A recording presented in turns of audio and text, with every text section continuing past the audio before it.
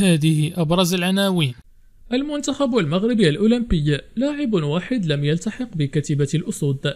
بلاغ عاجل زنباور يتخذ قرارا صادما بالرجاء بعد اعتقال محمد بودريقة سفيان رحيمي فرصة العمر للاحتراف بأوروبا وهذا موقف العين. والآن إلى التفاصيل. ولكن من قبل باش تكون أول واحد كيتوصل بجديد الأخبار العالمية والمغربية المرجو وضع زر إعجاب واشتراك وتفعيل الجرس. المنتخب المغربي الأولمبي لاعب واحد لم يلتحق بكتيبة سكتيوي. يخوض المنتخب المغربي الأولمبي معسكرا تحضيريا في مدينة ليون بفرنسا. استعدادا للألعاب الأولمبية التي ستقام في باريس في الفترة ما بين السادس والعشرين من يوليوز والحادي عشر من غشت ويشهد المعسكر غياب اللاعب أسامة العزوزي المحترف في صفوف بولونيا الإيطالية حيث لم يلحق ببقية اللاعبين حتى الآن. ووفقا لمصدر موثوق فإن تأخر العزوزي يعود إلى رغبة فريقه بولونيا في الاحتفاظ به لثلاثة أيام إضافية قبل السماح له بالانضمام إلى المنتخب. وأبلغ بولونيا إدارة المنتخب المغربي الأولمبي بصعوبة التحاق اللاعب في الموعد المحدد. وباستثناء غياب العزوزي انضم جميع المحترفين المدعوين للمشاركة في الأولمبياد إلى معسكر ليون.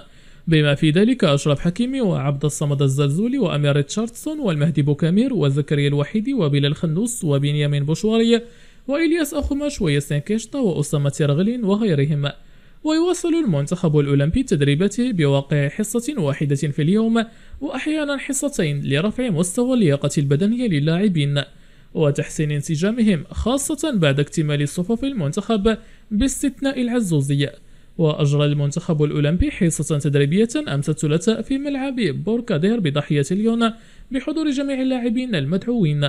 وركز المدرب طارق سكيتيوي في الحصة على الجانبين التكتيكي والتقني استعدادا لمباراة إعدادية مغلقة غدا الخميس إن شاء الله. لم يتم تحديد طرفها بعد وذلك لتقييم جاهزية اللاعبين لمواجهة الأرجنتين في الرابع والعشرين من يوليوز الجاري في الجولة الأولى من المجموعة الثانية في أولمبياد باريس 2024 بلاغ عاجل. زينباور يتخذ قرارا صادما بالرجاء بعد اعتقال محمد بودريقة ذكر موقع سبورت 7 أن المدرب الألماني جوزيف زينباور يرفض التواصل مع أي مسؤول في المكتب المديري لنادي الرجاء الرياضي باستثناء رئيس النادي محمد بودريقة ورفض زيمباور التفاوض مع النائب الأول لبودريقة بخصوص تجديد عقده مع الرجاء الرياضي والاستمرار لموسم إضافي.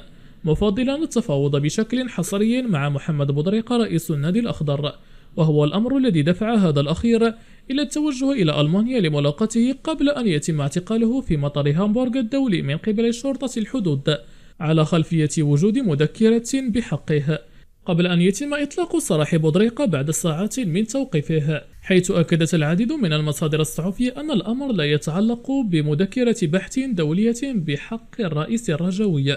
ومن المرتقب أن يلتقي بودريقة مع زيمباور للحسم في مستقبله بتوقيع عقد جديد في حال التوصل إلى اتفاق رسمي بخصوص الشرط الجزائي حيث أن زيمباور رفض التواصل مع أي شخص آخر إلا رئيس النادي الأخضر بنفسه. سفيان رحيمي فرصة العمر للاحتراف بأوروبا وهذا موقف العين.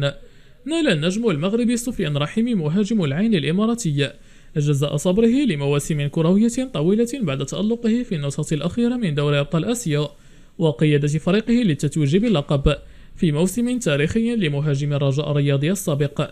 وتألق رحيمي في فترات عدة مع الرجاء الرياضي وبعد ذلك بقميص العين الإماراتية.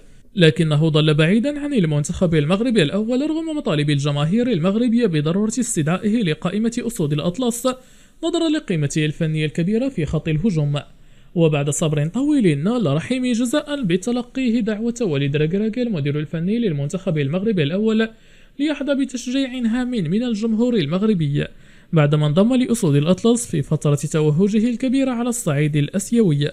رحيمي نال نتيجة صبره بشكل مضاعف بعدما وضع فيه طارق سكيتيوي المدير الفني للمنتخب المغربي الأولمبي الثقة ليكون ضمن الثلاثي الذي يتجاوز عمره 23 عاما.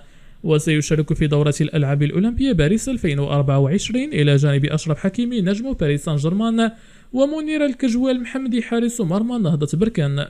وفي سياق متصل ذكر موقع وين أن ناديا أوروبيا تجدد اهتمامه بالتعاقد مع رحيمي بعد تأكد مشاركته في أولمبياد باريس. وأبرز المصدر أن القيمة المالية الكبيرة للمهاجم المغربي مع العين الإماراتية تبقى حائقا أمام الأندية الأوروبية للتعاقد مع سفيان رحيمي. لكن المصدر نفسه أشار إلى أن أحد الأندية الأوروبية يرغب في التعاقد مع سفيان رحيمي بنظام الإعارة وسيتم تقييم مستواه بصفة نهائية بناء على الأداء الذي سيظهر به في أولمبياد باريس 2024 مع أشبال الأطلس. وتعتبر المشاركة في الألعاب الأولمبية بمثابة الفرصة الأخيرة أمام رحيم للاحتراف بأوروبا. كما أن ثلاث أندية من دور روشنا السعودي تسعى للتعاقد مع اللاعب المغربي. المصدر المذكور أكد أن مسؤولي العين يرفضون فكرة السماح للمهاجم المغربي بالرحيل إضافة إلى أن اللاعب يمنح الصلاحية الكاملة لناديه لتدبير مستقبله الكروي. ليل الفرنسي يستهدف التعاقد مع أسامة الصحراوي من نادي هيرنيفن الهولندي. تلقى اللاعب صاحب الأصول المغربي أسامة الصحراوي وجناح النادي هيرنيفن الهولندي عرضا من الدوري الفرنسي بعد موسمه الجيد في الدوري الهولندي والذي قدم له من النرويج. ويرغب ليل الفرنسي في التعاقد مع اللاعب المغربي أسامة الصحراوي من هيرنيفن الهولندي لتدعيم الخط الأمامي للفريق الأحمر إلى جانب اهتمام العديد من الأندية الهولندية بضمه النادي الفرنسي قدم 8 مليون يورو من أجل ضم اللاعب في المركز الصيفي الحالي وينتظر أن يحسم الفريق الهولندي بشكل رسمي في بيع اللاعب من عدمها دياز أريد أن أكون أول لاعب في ريال مدريد يفوز بجائزة الكرة الذهبية الإفريقية. تحدث الدولي المغربي إبراهيم دياز لاعب ريال مدريد عن أول مشاركة له مع المنتخب الوطني مبرزا رغبته الكبيرة في الفوز بجائزة الكرة الذهبية الإفريقية. وعلق دياز في مقابلة له مع قناة بي ان سبورت القطرية على أول مباراة له مع المنتخب المغربي. تعرضت للكثير من الضرب وهذا أمر طبيعي. وتبع أحب أن أتعرض لمثل هذه الركلات لأنني أريد النهوض مرة ثانية. وهذا الأمر يجعلني مستيقظا طيلة المباراة وكنت سعيدا جدا وما سيأتي سيكون أفضل بكثير. واختتم دياز حديثه أريد أن أكون أول لاعب في ريال مدريد يفوز بجائزة الكرة الذهبية الإفريقية ولكن أول شيء أفكر فيه هو تحقيق الانتصارات من أجل الفوز بالألقاب.